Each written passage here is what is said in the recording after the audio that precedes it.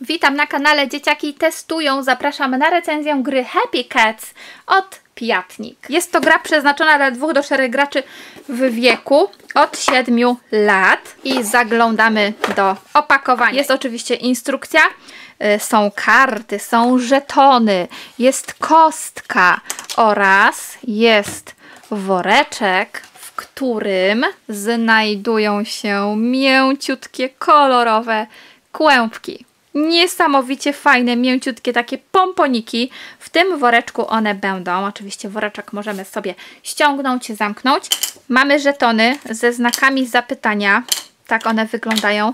Jest żeton z myszką, jest kostka i są tutaj bardzo różne karty. Są karty, zobaczcie, z mnożnikiem, są karty o różnych wartościach od 1 do 40 i są cztery karty z kotami. Karty z kotami oczywiście musimy zabrać, każdy z graczy bierze po jednym, reszta jest odkładana do pudełka. Tutaj sobie rozłożymy obszar gry dla dwóch graczy. Każdy z graczy dostał pięć kart, reszta kart leży na środku stołu zakryta i każdy gracz dostaje po jednej karcie z kolorowymi kłębuszkami. Oczywiście wszystkie karty muszą zostać wcześniej bardzo dobrze potasowane.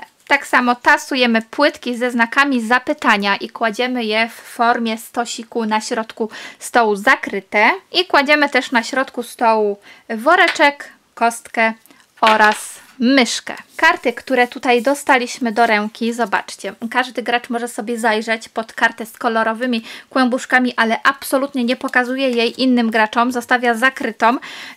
Kłębuszki w tym kolorze będą się dla niego liczyć podwójnie, dlatego warto to zapamiętać, a resztę kart biorę do ręki razem z kartą, kotem i trzymam tak, żeby nikt nie widział. My sobie zagramy w otwarte karty ale generalnie trzymamy je tak, żeby inni gracze ich nie widzieli. No i teraz tak, gracz numer jeden rzuca kostką.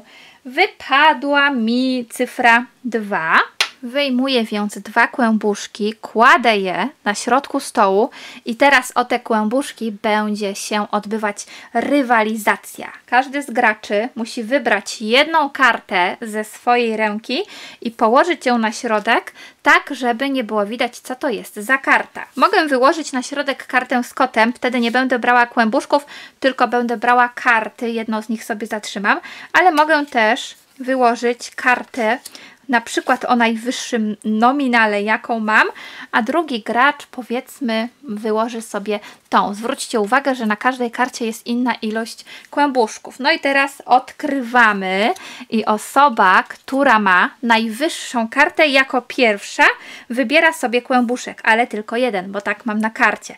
Zapamiętałam, że tutaj mam czerwone, więc ja wezmę sobie czerwony kłębuszek, ale gdybym wzięła, wyłożyła kartę niższą, to ten gracz mógłby wziąć oba kłębuszki i ja wtedy nie miałabym nic.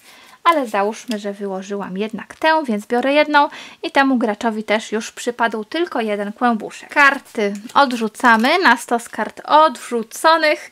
No i teraz gracz numer dwa. Załóżmy, że wypadnie e, tajemniczy koszyk, tak to się nazywało. Gdy wypadnie koszyk, tak samo każdy z graczy e, wykłada na środek kartę, którą chce, tak żeby nikt inny nie widział. Ten gracz może też sobie wyłoży. Odkrywamy je oczywiście równocześnie i osoba, która ma najwyższy nominał, czyli w tym wypadku ta osoba, wyciąga z woreczka trzy kłębuszki karty są odrzucane. Jeżeli wypadnie znak zapytania ze stosu z tymi płytkami, odkrywamy tyle płytek, ile jest osób i każdy wybiera sobie po jednej.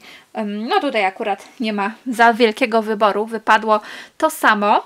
Czyli możemy wziąć jedną kartę z talii do ręki. Każdy z graczy dobiera sobie kartę. Także tak to wygląda. Tutaj tych znaków zapytania, zobaczcie, jest więcej, bo jest jeszcze klucz.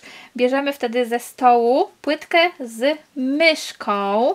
Ona należy do gracza, który wybrał ten żeton, wylosował żeton z kluczem, albo kłębuszek, czyli wyciągamy ze środka jeden kłębuszek. Gra kończy się, gdy ostatni kłębuszek zostanie rozdysponowany do któregoś gracza, gdy już nam nie zostanie w środku kłębuszków. Wtedy odkrywamy karty i liczymy w danym kolorze kłębuszki razy dwa. Oczywiście ich tutaj będzie dużo więcej bo musimy rozegrać rundę aż do końca wszystkich kłębuszków, także w, akurat tutaj i tutaj wylosowały się czerwone, czerwone razy dwa, reszta po jednym punkcie, no i gracz, który będzie mieć najwięcej tych punktów wygrywa grę. Happy Cats, bardzo wesoła, niesamowicie kolorowa gra, w której wcielamy się w te kotki polujące na te kłębki wełny. Niesamowicie miło nam się w nią gra, bardzo fajnie spędzamy przy niej czas. A więcej o grze przeczytacie na blogu, w opisie do filmu jest link, zapraszam Was tam bardzo gorąco, a ja się już żegnam.